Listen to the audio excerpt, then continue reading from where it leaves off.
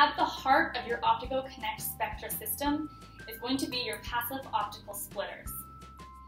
Now we have many, many different types of splitters, and it will depend on your topology and what you need for your specific design. However, at their core, all splitters take light from a single fiber and split it into signals for one or more different fibers. The key thing to note with our splitters is that they're completely passive.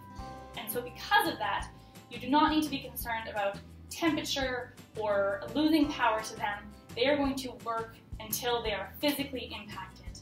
These are really, really crucial to allowing you to have a passive system rather than an active daisy chain, which puts a lot more risk on your network if one switch fails. Things to think about with your splitters.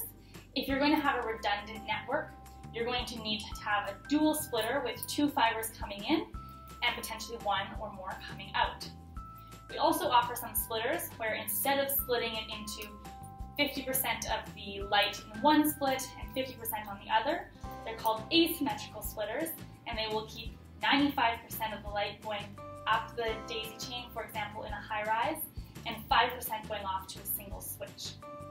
We also have ring splitters, which allow you to create a ring and have it be powered from either end in the case where one switch does fail and you want to have that redundancy.